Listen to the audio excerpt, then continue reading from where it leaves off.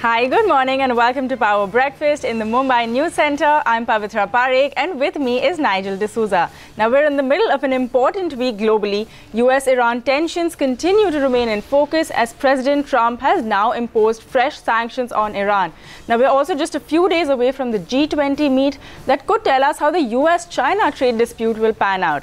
So let's see how our own markets fare amidst all of this news. Absolutely, Pavitra. Very good morning, first of all, and a couple of uh, domestic factors as well you cover the factors that we're looking at in terms of the global markets. Well, uh, you know, local factors would be the monsoon. You know, we're hoping that uh, that doesn't really spoil things out there because we've had so many good monsoons. Hoping this one as well is more or less, uh, you know, it get, catches up in the next couple of months. And besides that, we have the crucial FNO expiry as well.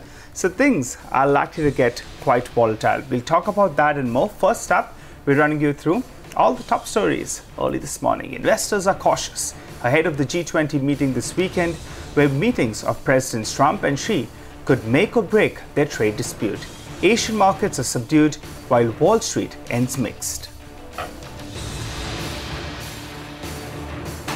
These measures represent a strong and proportionate response to Iran's increasingly provocative actions. How can we start a dialogue with somebody whose primary uh, preoccupation uh, is, is to put more sanctions on, on Iran.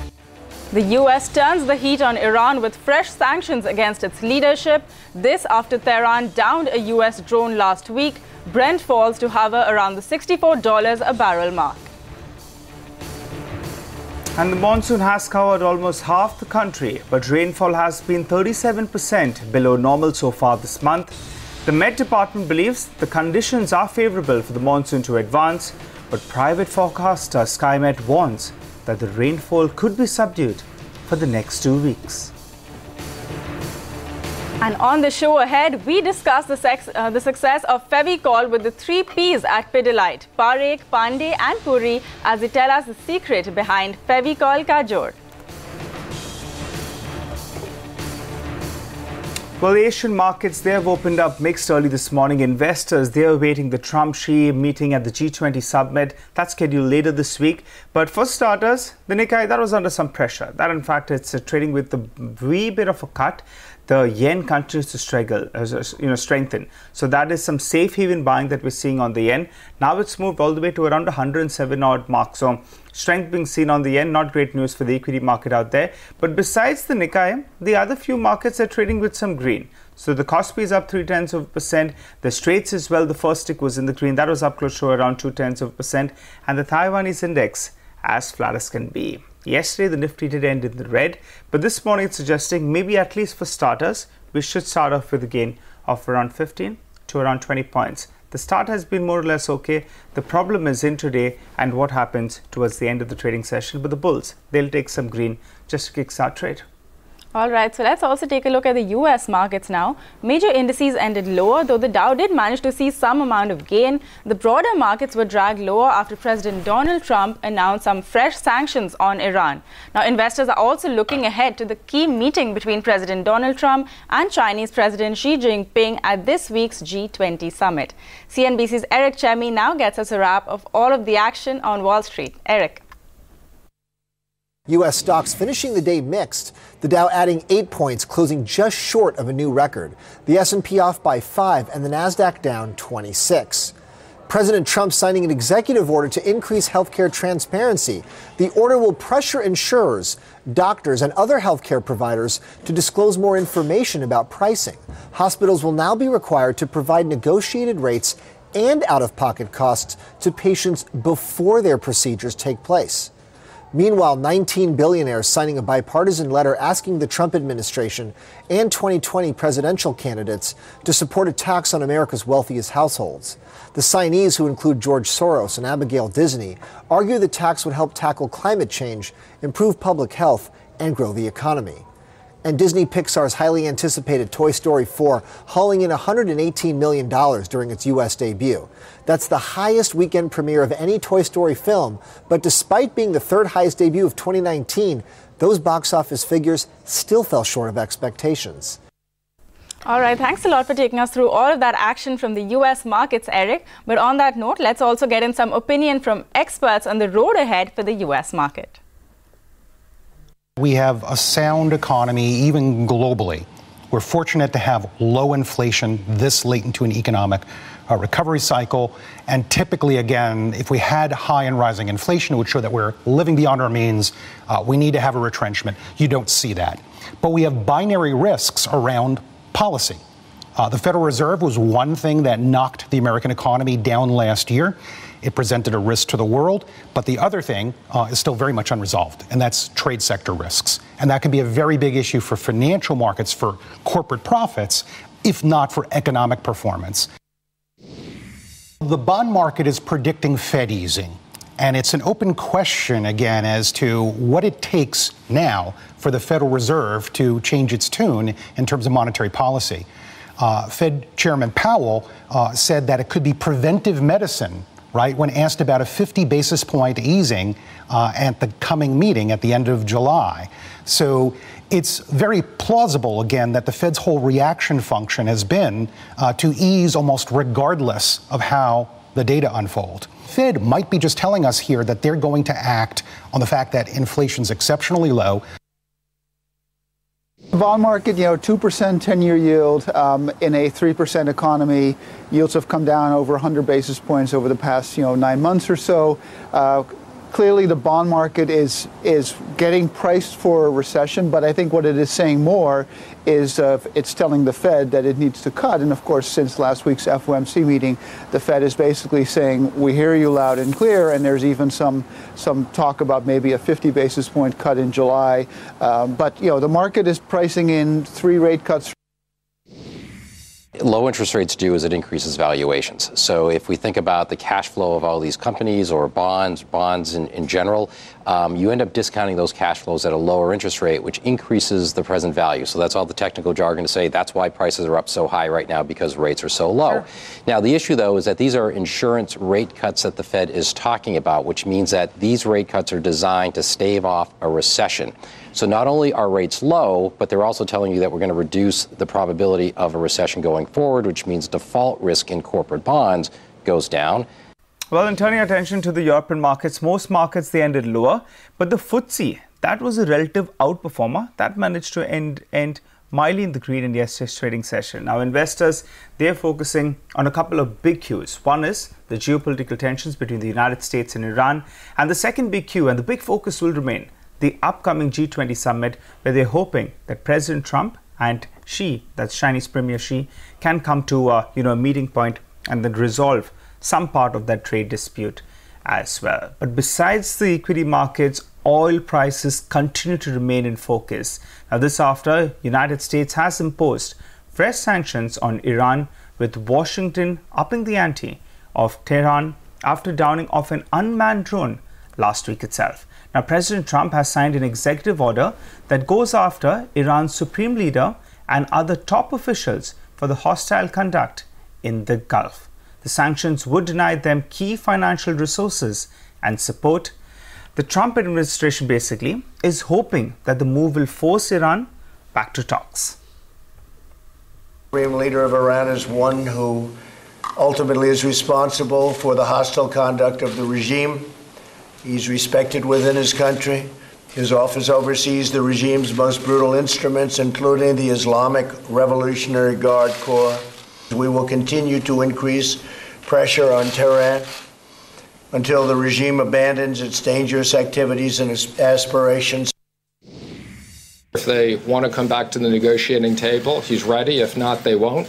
Uh, for people who say these are just symbolic, that's not the case at all. Uh, we've literally locked up tens and tens of billions of dollars. Uh, these sanctions will come along with additional entities where people are hiding money. All right, so that was the word from Donald Trump and Steve Mnuchin. They are saying that they are still open to negotiation, but they will continue to exert pressure on Tehran. Meanwhile, Iran's ambassador to the United Nations rejected the notion that there could be any talks while it was under the threat of sanctions, as he accused the U.S. of disregarding global cues. The U.S. decision today to impose more sanctions against Iran is yet another indication of continued U.S. hostility against the Iranian people and their leaders, and that the U.S. has no respect for international law and order, as well as the views of over overwhelming majority of the international community. To ease tensions in the broader Persian Gulf region, the U.S. must stop its military adventurism in our region, as well as its economic war and terrorism against the Iranian people. There is also a need for a genuine regional dialogue on regional security. Well, back home on Dalal Street, it was a volatile trading day, which uh, ended with minor losses. The Nifty gave up the 11,700 mark, while the Sensex managed to hold on to the 39,000 mark. The broader markets, though, they fell in line with the benchmarks. The mid-cap index ended a quarter of a percent lower, while the Nifty Bank ended more or less flattish in yesterday's trading session. Anisha joins us early this morning to fill us in with all the cues. Yeah, Anisha, good morning. Hi, Nigel. Good morning. Well, yes, you mentioned that the Nifty Bank ended at the you know flat line, but if you look at the intraday move, the Nifty Bank ended around 180 points off the day's high, and that is telling you the volatile session that we had in trade yesterday. As you mentioned, yes, the Nifty managed to just close around at 11,700 mark, but that too is 50 points off the day's high. Other than that, the mid caps continue to underperform and quite a bit because yesterday as well we saw a decline of around 3 tenths of a percent on the mid cap space, while the headline indices ended flat or down about 2 tenths of a percent. If you look at the buy figure coming in from the institutional side, yes, there's a net institutional buy both from the FIIs and the DIIs, but the data is a bit skewed on account of the one big block deal that we had seen on account of Emami. So, for example, for uh, for FIIs, we have seen a net buy figure of around 210 crores, and the DIIs bought in around 980 crores. But as I mentioned, there was a block deal of around 1230 crores on Emami counter, and that was uh, you know taken up by most of the DIIs, and that's the reason we are seeing that big bump up when it comes to the DII numbers. Other than that, when you're trying to take cues from the global markets, they are actually a tad bit mixed because US also ended pretty much around the flat line. There were no major cues. As you can see, the Dow ended in the green, but the Nasdaq and the S&P ended in the red telling you that there's a bit of lack of conviction and direction in the markets and they're actually waiting by for the G20 summit which will happen at the later end of the week. In fact, at the G20 meeting, of course, President Donald Trump and Chinese Premier Xi Jinping are expected to meet and talk about the trade issues and that will be the key important thing to watch out for. But ahead of that, Chinese Vice Premier uh, yesterday had a phone call with US Treasury Secretary Steven Mnuchin and that too ha- uh, had an impact on the markets. Separately, US has also imposed some sanctions on Iran and that is why there was a bit of nervousness in the markets yesterday. But other than that, the Indian markets have been starkly underperforming the global markets while Nifty is YTD up around 8%. The likes of Nasdaq as well as Shanghai Composite are up over 22%. For the Indian markets locally, we have to watch out for the uh, some uh, watch out for the meeting with uh, U.S. Uh, Representative Mike Pompeo, who is visiting India from today. And separately, as you guys were talking about, monsoon has been quite deficit this month, down about 30-37 percent from the normal rainfall, and that will remain important. Asia this morning is not giving much cues, but SGX Nifty is suggesting an uptick of around 10 to 15 points. So we'll watch out how we start off the trade and carry forward from there. All right, thanks a lot for that, Anisha. But also tell us what are the stocks that we should watch out for in today's session? Well, a couple of OFS coming, Pavitra, and that is why we'll watch out for that. So, L&T Tech, for example, when L&T is looking to sell 2 lakh shares of the company and the floor price has been set at around 1650. So, we'll keep an eye out on that. SBI Life is also in focus because BNP Paribas there is looking to sell up to 25 million shares of the company and there the floor price is around 650. So, might see a bit of movement on that counter on account of that Separately, TCS is upping its stake in the Japanese arm by 15% and they're going to pay $33 million for that. So keep an eye out on that because IT yesterday was uh, largely in the red territory and Infosys as well has partnered with Toyota for some of the digital services. So keep an eye out on that. Other than that, the important news coming in for Piramal Enterprises as well as Shriram Group, wherein Piramal Enterprises is mulling selling entire stake in Shriram Capital. Remember, as of now, they hold around 20% percent So this will be important news to really keep an eye out on. Suzlon Energy, there have been a lot of talks and to and fro regarding deals. They say that they are uh, continuously mulling options of uh, you know raising capital. Let's see what comes out of that. Eris Life is looking to uh, mull a buyback and that will happen on July 3rd. Syndicate Bank is looking to raise some capital for FY20 and that board meet is on June 29th. Andhra Bank has also taken an approval to raise around 2000 odd crores. Welspun Corp, there, there was a meeting of the buyback committee and they have decided that they'll buy back up to around 390 crore rupees um, worth of uh, equity. The buyback price is 135. The record date is July 5th. A lot of equity changing had. We have been seeing a lot of block deals of late. Uh, expect for some kind of this deal happening on Natco Pharma as well because 7% equity is expected to change hand there. Uh, might not happen through the exchanges because this is just between related parties. So let's see how that pans out. Sunteck Realty has issued commercial paper of 35 crores. Important news because in this kind of market liquidity squeeze is there. The company has been able to garner that 35 crores and the rating has been positive. Other than that, GMR has pledged more shares, so maybe a bit of sentiment downtick there. And there have been some movements with LIC selling stake in a couple of these companies like Axis Bank, BHL and uh, IFCI. So we'll keep an eye on all of these counters. Okay, all right. Uh, now, one big worry for the market has been the slow onset of the monsoon, which is crucial for agriculture and the overall economy. The Met Department now tells us that rainfall across India has been 37% below normal for this month so far versus the 44% last week. Now, the Met Department also adds that eastern and southern India have been covered by the monsoons and conditions are now favorable for the rains to advance into central and western India in this week. However, the deficit has impacted sowing patterns for certain crops across the country. So, sowing for crops like cotton, rice, soybean, corn, and pulses, all of them have been delayed by around a fortnight. Here's GP Sharma of SkyMet on what we can expect in the next few days and weeks as far as the monsoons are concerned. The uh, uh, monsoon definitely has uh, picked up a pace in the last four, three, four days.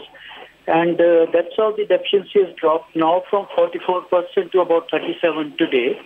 Uh, but then uh, uh, uh, uh it, it, it's going to go a little weak again after about 24 hours or so. Mm-hmm. Once again, from about uh, 1st of July or so, fresh system is likely to form, mm-hmm. and that should give us further rains. Skymet had issued an advisory to delay the sowing by at least about a fortnight or so. Mm-hmm.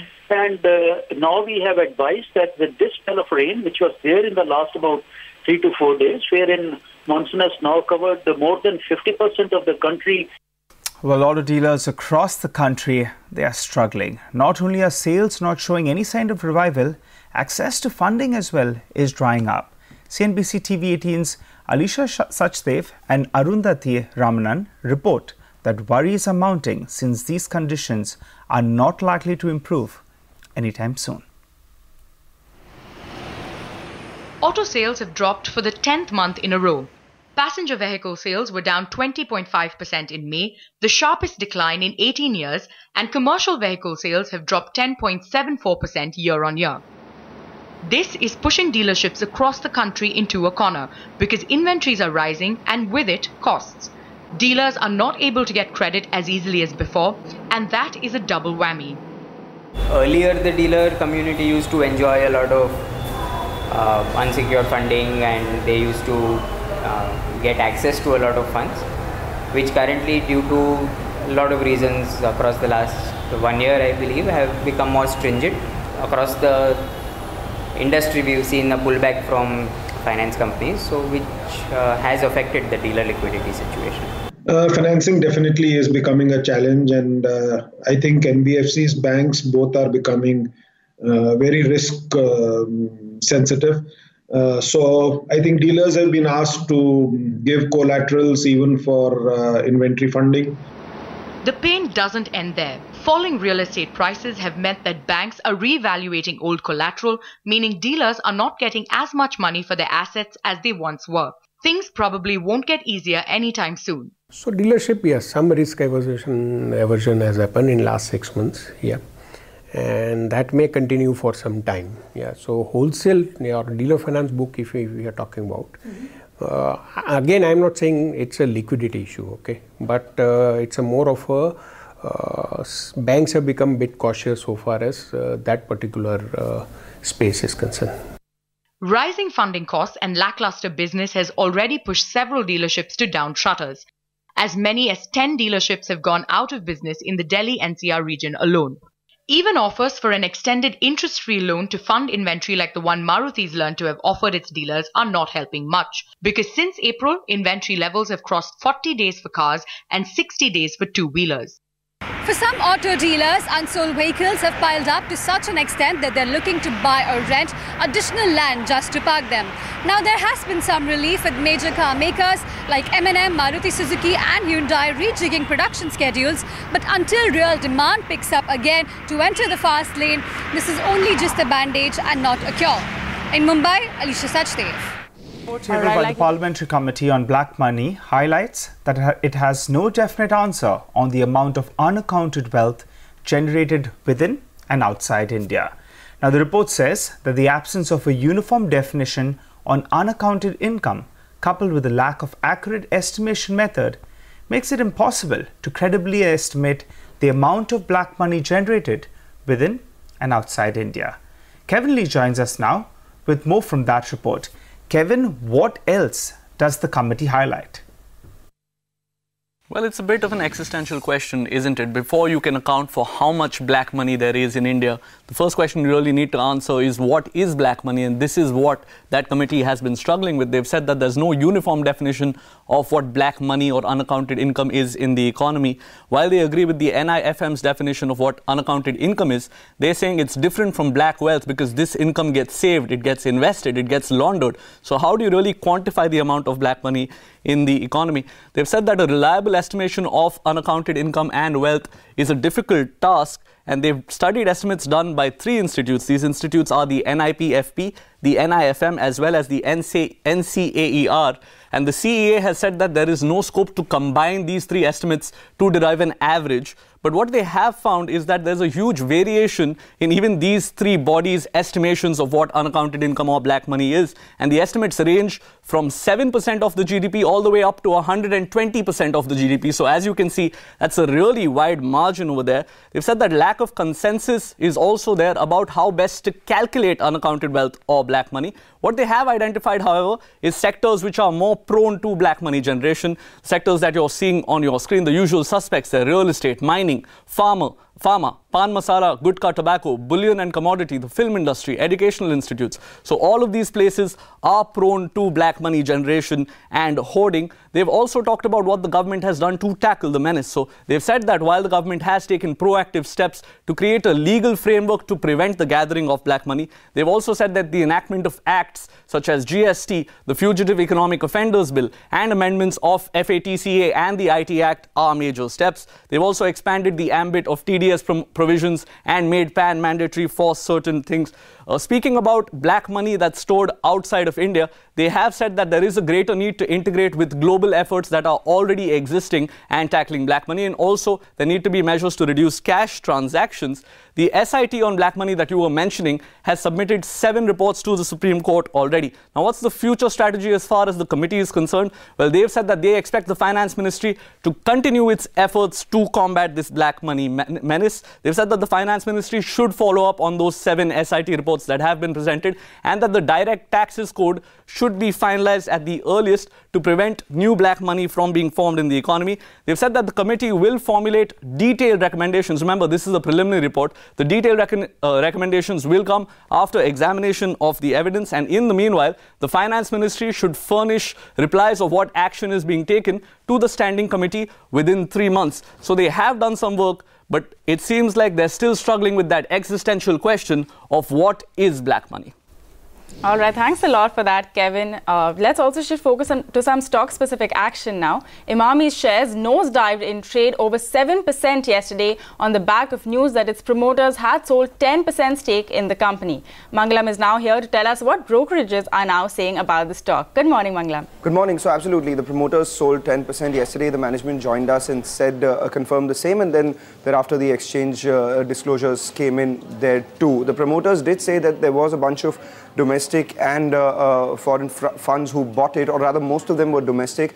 The buyers uh, that were revealed were just SBI. They bought about a third of what the promoters sold, so 3% purchase by SBI. The remainder still needs to be known. More importantly, uh, Citi has written on it. They've cut the target price. They've taken a sharp tar uh, target price cut from 430 plus to around 340 because they believe now the focus shifts to the promoter group leverage concerns. The management said to us that the remainder of debt on their group at their group level is close to around 2200 odd crores. Uh, Citi believes that going forward, the company can go ahead and deleverage some of their cement assets, some of their real estate assets, and their hospital business as well, for which they believe the timeline could be next six to eight months. A rather optimistic timeline, but let's see how that pans out. In terms of valuations, remember the stock has corrected around 50 55% from the peak, and current valuations at 20 times are a 40% discount to the sector, and for the company itself at a multi year low. However, Citi would only be positive once there is some further news coming in on group deleveraging plans, and that is the only thing that could aid re-rating for the company. While they have taken a sharp target price cut, they remain positive on the stock. Let's see where this pans out because the last time the promoters sold that 10% stake, what happened was the street gave it a longer rope. The stock started moving higher from the next day onwards, but within three months, the promoters had to sell another 10% as well. So let's see how this uh, pans out. The street is on a wait and watch mode. Let's also hear out what the management had to say to us yesterday, actually. We have sold uh, about 10% today. This has been sold by the promoters. This is primarily to reduce our debt. Uh, this would go entirely on reducing the debt. The buyers have been some of the marquee investors, both domestic and uh, foreign institutional investors. This is absolutely the last tranche. Uh, the idea is uh, definitely to reduce our debt, but after this, we would be in a very, very safe position. I don't think we would need to dilute any further stake in Emami Limited total debt, uh, as far as the promoter debt is concerned, our debt was almost uh, 3,300 crores. After this stake sale, uh, we would further reduce it down to about uh, 2,200 crores. And uh, our idea is to further reduce the debt in the next uh, coming months.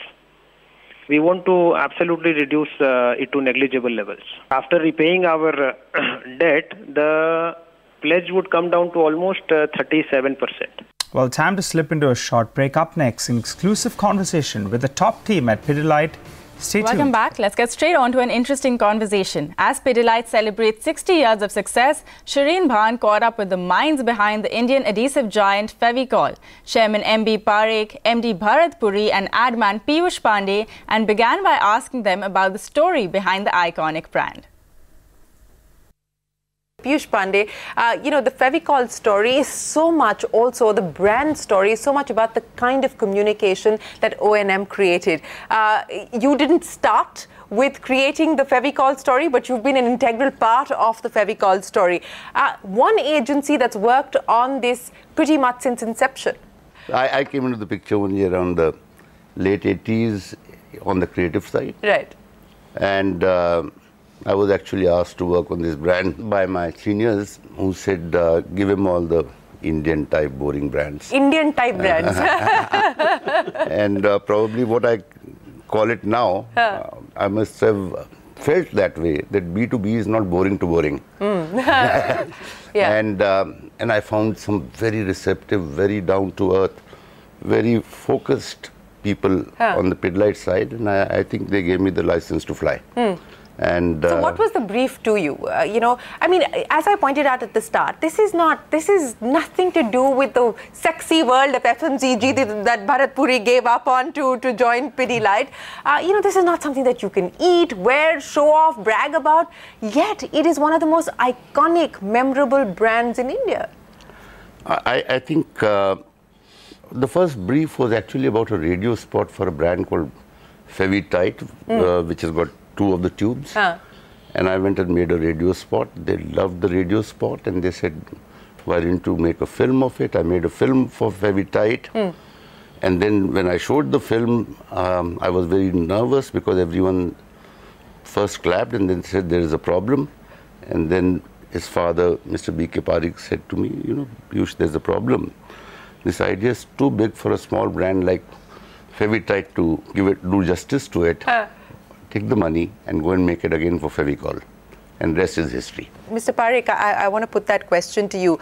Uh, you know, part of the Fevicol story and the Pidilite story now uh, is also about what you're doing on the inorganic side, what you're doing on the joint venture side. So, uh, how is that tying in with the fact that you've been able to create this iconic Indian brand that has resonance? Uh, I mean, you know, who who would have ever imagined that Prime Minister Modi uh, would, in his meeting with the Japanese Prime Minister, post that meeting, talk about the fact that the bond we share is stronger than that of Fevicol. I mean, who would have thought that Fevicol would have made it into a prime ministerial speech? Yeah, that's amazing, yes. So, so how much of what we can now see as far as the future is going to be about global growth, about global markets, about acquisitions, about joint ventures? No, we see uh, in the process of identifying opportunities, uh, sometimes we find uh, segments where we believe that we should be there as a pioneer, mm. but we don't have the technology or the experience to do it in a short time. Mm. And now, compared to earlier, I think that things are moving faster. Right. And we can't take as much time with other products as we took with Fevicol. Mm. So therefore, we believe that we should spot uh, joint venture partners uh, and get on with moving into categories which are again falling into that pioneer pioneer space. Pioneer, uh, yeah. Uh, space. Yeah. So Bharat Puri, let's talk a little bit about the pioneer category because that is what people who are looking at valuations are are, are keen to understand that uh, you know if it's priced in at this level, then what can we expect in terms of future growth? So where do you really see the new areas of opportunity where you're not today that you expect to foray into the categories that you hope to want to grow further from here on, and how is it going to happen? Do you see a more aggressive push on the inorganic side? See, two things. One is if you look at our portfolio, we broadly define our portfolio into three categories. Core categories where we already have a market leading position. We are largely growing the category via, you know, growth in the economy, mm. premiumization, innovation. So things like a Fevicol, a Fevikwik, high market shares, entrenched position. These we'd want to grow at one to two times GDP. Mm. We then have a set of growth categories where, frankly, we're competing against non-consumption. Mm Take waterproofing. Seven out of ten homes in India have a waterproofing problem. Yeah. Three out of ten address it. There, the job is frankly to make that three into six rather mm. than worry about the three who are doing it and try and get share mm. out of those three. Mm. Now, there, we, obviously, we must grow two to five times GDP. Yeah. And so, whether it's that, whether it's ICA Pidilite, whether it's emerging India, Joe, these are all what we call growth categories. Mm. And very simply, pioneer categories are tomorrow's growth categories. Mm. We just bought over India's largest floor coatings company, right. high-end floor yes. coating. It's called CIPY. Yeah. Now, CIPY is the provider of these high-end coatings, whether it be for parking mm. lots, factory floors. But we're also excited. Shereen, we see this as an opportunity. Take a city like Mumbai, restaurants, hotels, hospitals, mm. all of them currently using tiling as floors, and mm. that's frankly not a recommended solution. Again, it's a pioneer opportunity. It will take us a number of years, okay. but it fits into our model. Okay. Like this, whether it's this, whether it's tile adhesives, mm. we have a whole range of pioneer categories. Obviously, some of them are confidential. Mm. But over time, we'd like our portfolio to be half core and half pioneer plus growth. Well, crude oil prices continue to be in focus. Gold is at a multi year high, and in fact, the Bitcoin out of nowhere has seen a massive recovery to more than ten to eleven thousand dollars. Manisha Gupta joins us early this morning to give us a quick update on the commodity space. Morning, Manisha. Morning, Nigel. Thank you so much. Well, as the crude oil prices continue to be in focus, we did see uh, the prices come off its highs as the markets continue to focus on a lot of things. The U.S. sanctions on Iran leadership is one thing that is into the prices already. Markets gained, had run up uh, ahead of this event. Also, it is going to be about the G20 summit in this uh, this week itself. The expectations are quite high that the U.S. and China will be able to sort the trade dispute. The other thing is the U.S. weekly inventories, where the markets are anticipating a buildup in inventories, and that seems to be slightly uh, uh, weighing onto the sentiment. And the other thing, uh, the most important factor has been the currency play. You have seen the U.S. dollar index trade at a three-month lows, and that has been supportive for many of these commodities, including crude. When it comes to the metal prices, well, we have seen some bit of a profit taking here. The U.S. manufacturing data, services sector numbers are not exact, exactly very positive, and that's weighing onto the markets. So there's only one factor for all of base metal sector, and that really is the G20 summit. If nothing comes out of that, you perhaps are looking at yet another round of profit taking there. In the meanwhile, the only a few things that are holding firm in this market are the safe havens. The Japanese yen is trading at a five-month highs. The gold prices are trading at a six-year highs. And as you mentioned, the cryptocurrencies have seen a surge as well on back of financial and geopolitical tensions. So yes, we are looking at a near 200% of a gain in case of Bitcoin in 2019 till time. All right, thanks a lot for running us through all of those updates from the commodities space, Manisha. Let's also take a look at the FNO space now, and Mangalam is standing by to take us through all of the cues. Mangalam. Good morning. So yesterday, you know, was a range-bound session for the Nifty, and uh, we saw it end closer to that 11,700 mark, and that's an important level because it's perilously close to the 50-day moving average of 11,690. So let's see whether we take support there or not. The higher end, it's the 11, uh, uh, 11,860 mark, which is the 20-day moving average, which the street will be watching out for. Importantly, the FIIs, they bought in cash market after a fair amount of selling over the last few trading sessions. The domestic institutional investors also pumped in some money, but that remember, has been on account of, uh, uh, on account of the Emami large trade. The FII purchase also came on very, very low gross volumes. In index futures, the data points are all over the place given the fact that this is expiry week. So there was a, a, mild bit of purchase in index futures, a bit of selling in index options, and in index options as well, both long calls and long puts added by the FIIs to the tune of around four to 5,000 contracts. Similar amount of uh, uh, puts and calls sold by the FII. So that's telling you maybe the markets are likely to be in, in a range with a fair amount of choppiness. But currently, the lower end of the range is where we are at. In terms of active options, 11,750 call as well as the 11,800 call came in for a fair amount of writing. And if you adjust the premium, it turns out to be that the 20-day moving average could be a bit of a hurdle. At the same time, the lower end of things, uh, 11,700 to 11,650 to 11,700 looks like a place of protection. In terms of stocks, watch out for Adani Power. After a sharp surge yesterday, entered the FNO ban. And Jain Irrigation, remember, three, four days into, uh, after three, four days, the stock will be excluded from FNO. But before that, it has exited the FNO ban. So let's see how that stock pans out too. Okay, all right, Mangalam. Uh, thanks so much for that. Well, on that note, we'll wrap up on Power Breakfast. You stay with us. Bazaar Morning Call comes up next.